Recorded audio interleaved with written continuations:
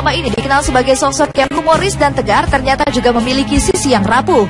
Ya, Gubernur Banten yang akrab disapa Sidul ini akan langsung meneteskan air mata jika sudah disinggung soal kehidupan masa lalu kedua orang tuanya, pasangan Soekarno M. Nur dan Lili Istiarti. Karena tidak banyak orang yang tahu jika selama ini kedua orang tua Rano Karno ternyata memilih hidup berpisah meski tak bercerai.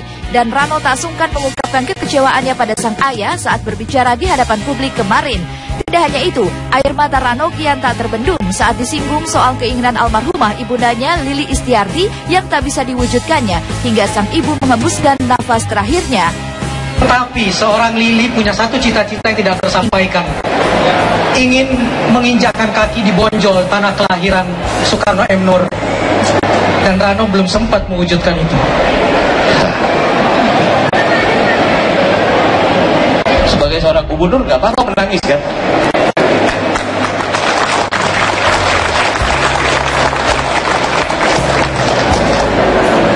Saya nggak tahu kenapa dia ingin sekali pulang ke kampung suaminya. Itulah Yesi Gusman cepat memberikan sesuatu. Sama seperti istri saya. Ibu saya minta kepada saya Desember bisa tahun baru di Bonjol dia mau ke Padang. Karena setelah selama dia menikah dengan almarhum ayah dia tidak pernah ke Padang. Ke kampung halaman. Ya akhirnya saya janji lah. Saya janji sebetulnya jujur agak basa-basi. Karena bagaimana membawa seluruh dia minta seluruh anak cucunya ikut. Ternyata tidak tersampaikan karena belum Desember ibu saya meninggal dunia 7 November 2015 Ya. di usia 77 tahun. Iya. Nah sejak itu setelah itu saya mau minta kepada istri saya, yuk kita pulang kampung. Sosok Soekarno M. Nur di mata Rano Karno. Dia tetap ayah yang hebat. Walaupun saya sempat kecewa kepada dia, karena dia tidak bertanggung jawab pada rumah tangganya. Ibu bapak saya berpisah tapi tidak bercerai. Tinggal tidak jauh. Tapi yang saya bangga, waktu ayah saya kena kanker liver, ibu saya menjemputnya, membawa pulang ke rumah. Tidak hanya bercerita soal ketidakharmonisan kedua orang tuanya, Rano Karno juga tak sungkan menceritakan kegagalan rumah tangga pertamanya. Lalu kisah cintanya dengan Dewi, istri keduanya yang hingga kini telah 29 tahun mendampinginya, serta ketidakmampuannya memberikan keturunan kepada sang istri. Semua dibeberkan secara terbuka oleh Rano Karno, termasuk di hadapan awak media. Dan air mata Rano serta sang istri kembali menetes saat Raka dan Dea, dua anak angkat mereka tiba-tiba muncul dan memberikan seikat bunga sebagai tanda cinta mereka. Ya, kalau dia bilang playboy, salah. Rano Karno bukan playboy. Rano Karno adalah anak baik-baik. Terima kasih ya sama istri saya. Dan saya juga ingin mengucapkan terima kasih kepada anak saya. Ada Raka. Rangga naik ke atas. Diri nak. Dia mana dia? Rangga dia silakan naik. Oh, malah dia mau kasih. Oke. Oke,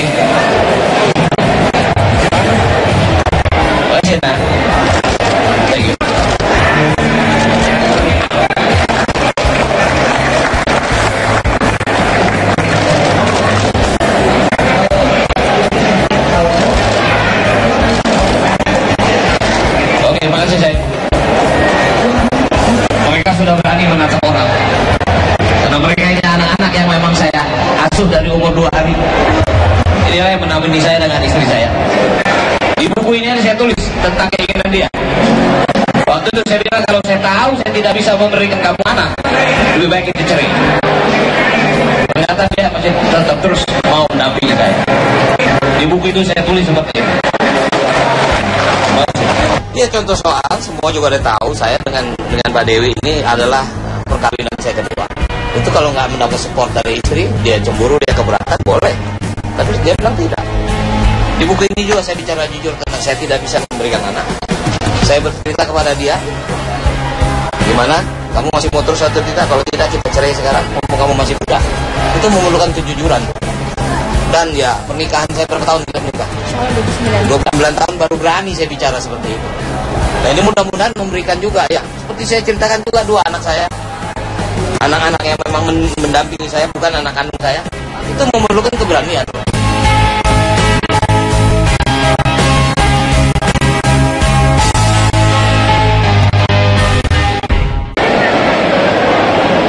Sebagai seorang gubernur gak apa-apa menangis kan?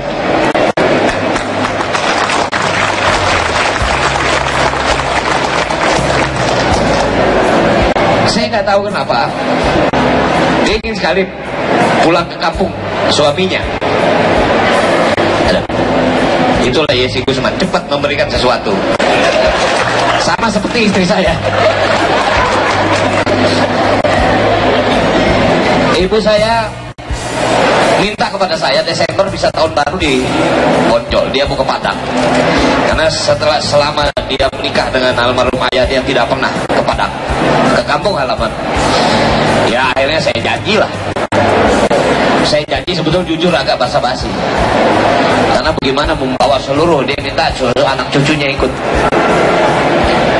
Ternyata tidak tersampaikan karena belum Desember ibu saya meninggal dunia 7 November 2015 Ya. di usia 77 tahun. Iya.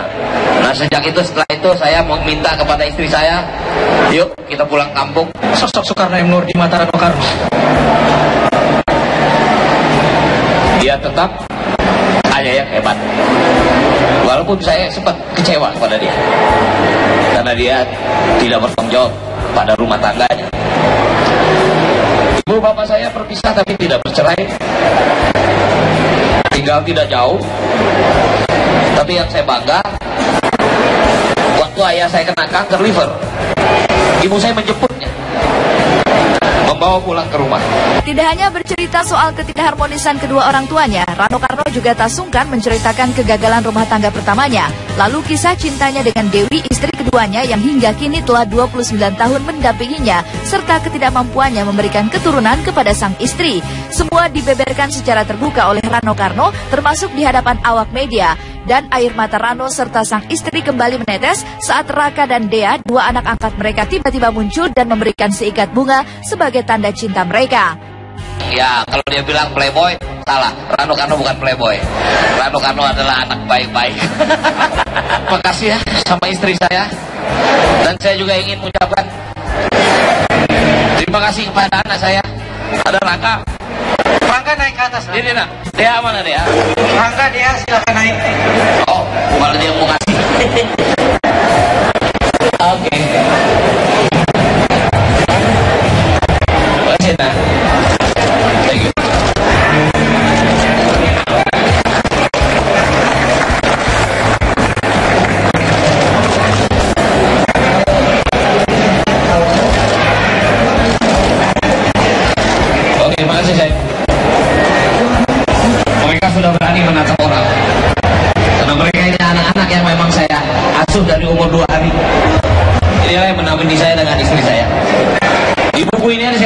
Tentang keinginan dia. Waktu itu saya bilang kalau saya tahu saya tidak bisa memberikan kamu anak, lebih baik kita cerai. Ternyata dia masih tetap terus mau mendampingi saya. Di buku itu saya tulis seperti itu. Ya contoh soal semua juga udah tahu saya dengan dengan Mbak Dewi ini adalah perkawinan saya kedua. Itu kalau nggak mendapat support dari istri, dia cemburu, dia keberatan, boleh. Tapi dia bilang tidak. Di buku ini juga saya bicara jujur tentang saya tidak bisa memberikan anak. Saya bercerita kepada dia, gimana? Kamu masih mau terus atau tidak? Kalau tidak kita cerai sekarang, mumpung kamu masih muda. Itu memerlukan kejujuran. Dan ya pernikahan saya berapa tahun kita menikah? 29 tahun baru berani saya bicara seperti itu. Nah ini mudah-mudahan memberikan juga ya seperti saya ceritakan juga dua anak saya, anak-anak yang memang men- mendampingi saya bukan anak kandung saya, itu memerlukan keberanian.